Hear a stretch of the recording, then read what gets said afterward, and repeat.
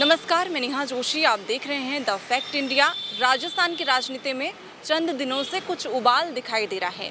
शिक्षा मंत्री मदन दिलावर ने एक ऐसा बयान दिया, उसके बाद में राजस्थान की सियासत है वो गरमाई हुई है। आप देख सकते हैं, मेरे पीछे जो बैरिकेड लगे हुए हैं वो आज इसलिए क्योंकि राजकुमार रोत ने सांसद की तो शपथ है वो ग्रहण कर ली है, लेकिन जब वे राजस्थान लौटे हैं, कल देर रात वे राजस्थान लौटे और उन्होंने ट्वीट के ज़रिए, अपने सोशल मीडिया प्लेटफॉर्म एक्स के ज़रिए उन्होंने जानकारी दी कि वे सुबह 11 बजे मदन दिलावर, शिक्षा मंत्री हैं, उनके आवास पर आएँगे और डीएनए का सैंपल सौंप के जाएँगे। लगभग समय है वो भी मैं आपको बता देती हूँ, समय सवा ग्यारह के लगभग हो चुका है, लेकिन इस वक्त राजकुमार रोत हैं, वो रुके हुए हैं, बाहर ही हैं वो, यहाँ तक अभी नहीं आ पाए हैं, लेकिन सुरक्षा इस प्रकार है, पुलिस प्रशासन यहाँ पर मौजूद है, बैरिकेड्स यहाँ पर लगा दिए गए हैं, और यहाँ पर राजकुमार रोत आएँगे या नहीं आएँगे, उसकी स्थिति देखनी बाकी होगी, क्योंकि राजकुमार रोत ने कहा है, साफ़ कह दिया है कि डीएनए टेस्ट के लिए मैं खुद जाऊँगा और मेरा खुद का डीएनए टेस्ट है, वो शिक्षा मंत्री मदन दिलावर के आवास पर मैं खुद सौंप करके आऊँगा। राजकुमार रोत और उनके साथी अमर जवान ज्योति सर्किल पर वे बैठे हैं। अभी क्या स्थिति बन रही है, समझाइश की कोशिश भी हो रही है, लेकिन डीएनए टेस्ट के लिए अगर वे यहाँ आते हैं तो ये राजभवन का ही रास्ता है। मदन दिलावर शिक्षा मंत्री हैं, उनके, उनका जो आवास है, वो आगे जा कर के है। और यहाँ पर पुलिस प्रशासन है, वो तैनात है। यानी कि राजकुमार रोत को आने से रोकने के लिए ये जो कड़ी सुरक्षा है, वो की गई है। सीएम भजन लाल शर्मा कुछ ही देर में यहाँ से निकलेंगे, यहाँ से गुजरेंगे। लेकिन ये मुश्किल है, वो राजकुमार रोत के लिए बनी हुई है कि राजकुमार रोत क्या यहाँ तक पहुँच पाएँगे? क्योंकि आदिवासी समुदाय की वो पहचान देने के लिए, कि आदिवासी हिंदू नहीं है। उन्होंने कहा कि आदिवासी हिंदू नहीं है, राजकुमार रोत का कहना है। लेकिन मदन दिलावर ने साफ़ कह दिया था कि डीएनए टेस्ट करवा लेंगे, उनका बाप कौन है, ये हम पता कर लेंगे। ये मदन दिलावर का कहना था। अब मदन दिलावर उनके आवास में मौजूद हैं या नहीं है, ये तो देखने वाली बात होगी, लेकिन डीएनए टेस्ट वे सौंपेंगे किसको? राजकुमार रोत। क्योंकि यहाँ तो बैरिकेड्स लगे हुए हैं। राजकुमार रोत को यहाँ आने नहीं देंगे। कड़ी सुरक्षा यहाँ पर लगी हुई है। ये सेकेंड बैरिकेड है। यहाँ से और यहाँ से रास्ता खुला है। दोनों तरफा रास्ता खुला है, लेकिन यहाँ पर राजकुमार रोत यहाँ तक भी पहुँच पाएँगे या नहीं पहुँच पाएँगे, ये देखने वाली बात है। फ़िलहाल राजकुमार रोत अमर जवान ज्योति पर वहाँ पर अपने कुछ लोगों के साथ में मौजूद है और कड़ा प्रदर्शन कुछ दिनों में आपने राजस्थान में देखा होगा। आदिवासी समुदाय, ओबीसी समुदाय के द्वारा किया गया था कि हम हिंदू हैं या नहीं है, हम हमारा डीएनए टेस्ट देने के लिए तैयार हैं।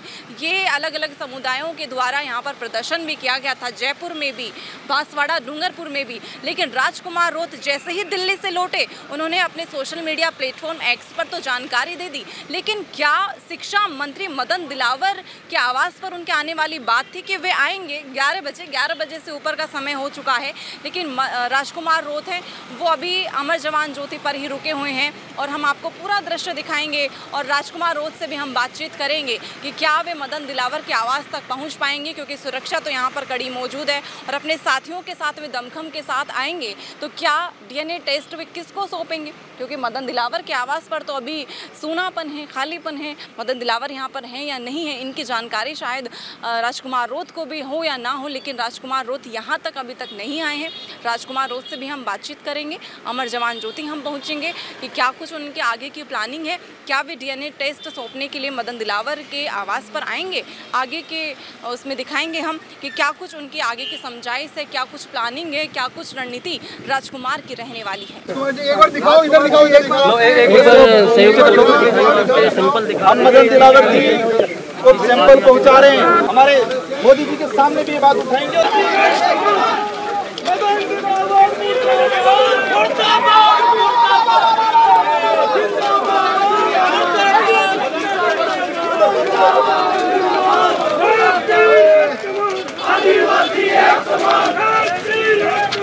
आदिवासी एक समान। मुर्दाबाद मुर्दाबाद मुर्दाबाद आदिवासी एक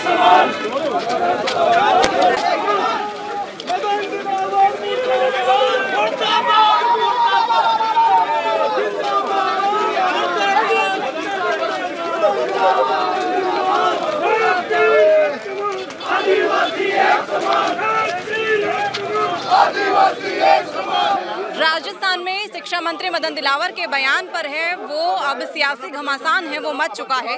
राजकुमार रोड, डूंगरपुर भांसवाड़ा के सांसद हैं, वो यहाँ पर पहुँच चुके हैं। विधानसभा के बाहर का जो क्षेत्र है, वहाँ पर आप देख रहे हैं।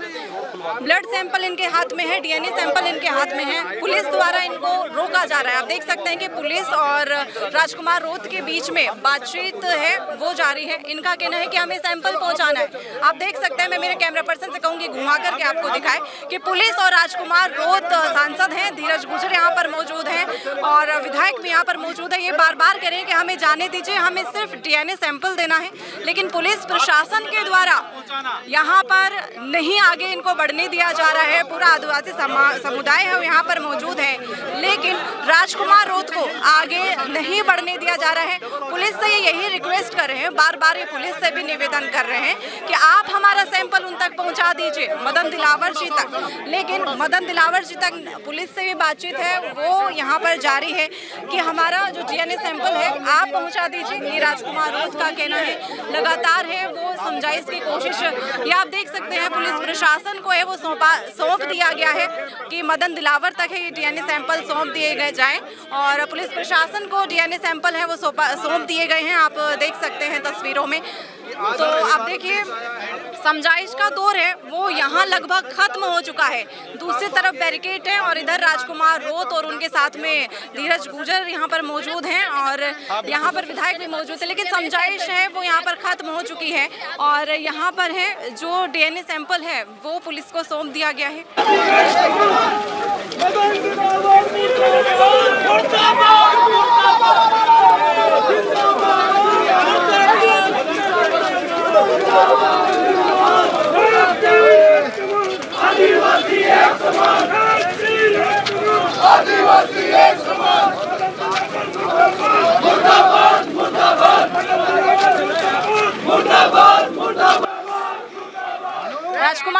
आपने डीएनए सैंपल है वो पुलिस प्रशासन को सौंप दिया है कि मदन दिलावर पुलिस प्रशासन ने हमको यहाँ रोक लिया है और हमने ये सैंपल पुलिस प्रशासन ने कहा है कि हमारी ज़िम्मेदारी है हम मदन दिलावर जी तक पहुँचा देंगे।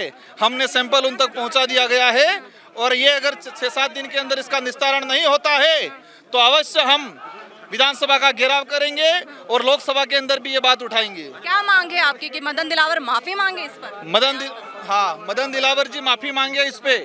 कि उन्होंने जिस तरह से बयानबाजी किया है और साथ ही हम भाजपा के हाईकमान से भी कहना चाहेंगे कि आपके मंत्रिमंडल में इस तरह का मंत्री है जो किसी समुदाय विशेष के डीएनए को लेकर बात करता है। तो हम लोग हम कांग्रेस के जो नेता हैं उन्होंने भी जो है प्रदर्शन किया है कोटा में उन पर एफआईआर दर्ज कर ली गई है वो भी आपके साथ हैं। तो आप उन पर क्या कहना चाहेंगे? कांग्रेस के विधायक आपके साथ है कांग्रेस के नेता कोटा में वो एक तरह की तानाशाही एक तरह की तानाशाही रवैया सामने आ रहा है और ये तानाशाही रवैया कहीं के आने वाले समय में भुगतना पड़ेगा। राजस्थान की जो वर्तमान सरकार है, शांतिपूर्वक तरीके से सरकार चलाए सभी समुदाय को साथ में लेकर सरकार चलाए। किसी समुदाय को बेइज्जत करने का, किसी समुदाय के स्वाभिमान पर ठेस पहुँचाने के बयानबाजी से वंचित रहे ये लोग। दूर रहे इनसे। बिल्कुल।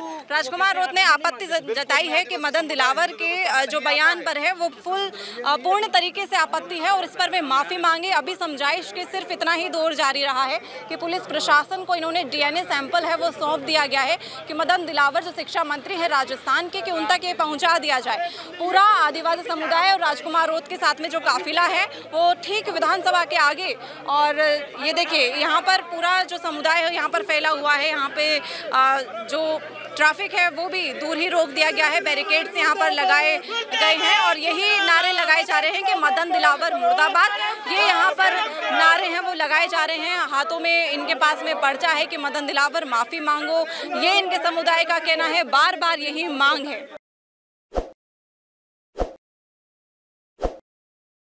ताज़ा खबरों के लिए विज़िट करें द फैक्ट इंडिया की वेबसाइट और डाउनलोड करें द फैक्ट इंडिया ऐप।